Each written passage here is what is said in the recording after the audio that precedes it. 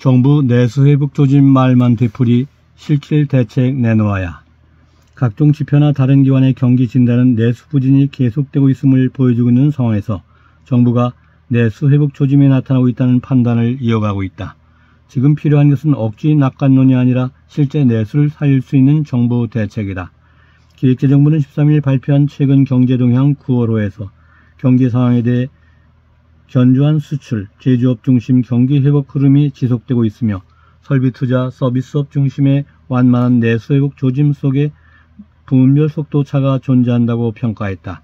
지재부가 내수 회복 조짐이라는 표현을 사용한 것은 지난 5월부터 5개월째 계속되고 있다. 그러나 국책연구기관인 한국개발연구원의 진단은 좀 더 냉정하다. 한국개발연구원은 지난 9일 발간한 9월 경제 동향에서 최근 우리 경제는 높은 수출 증가세에도 불구하고 고금리 기조로 내수회복이 지연되면서 경기 개선이 제약, 제약되는 모습이라고 밝혔다.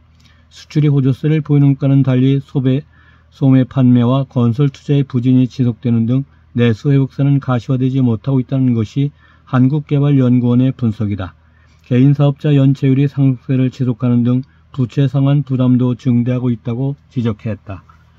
실제 지난 7월 상품 소비를 반영하는 소매 판매는 지난해 같은 달 대비 2.1% 줄었다. 또 다른 내수 지표인 건설 투자도 5.3% 감소했다.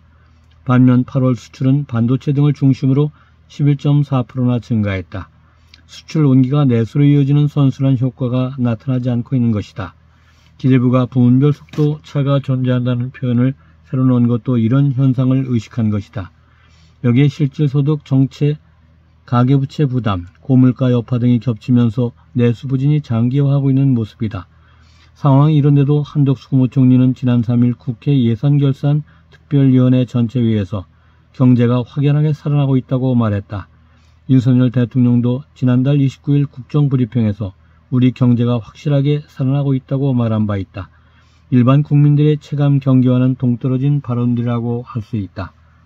내수가 회복되려면 무엇보다 가계의 실질 소득이 증가해야 한다. 하지만 올 2분기 우리나라 가구의 실질 소득 약 430만 3천원, 두 해 전인 2022년 2분기 449만 4천원보다도 줄어든 상태다.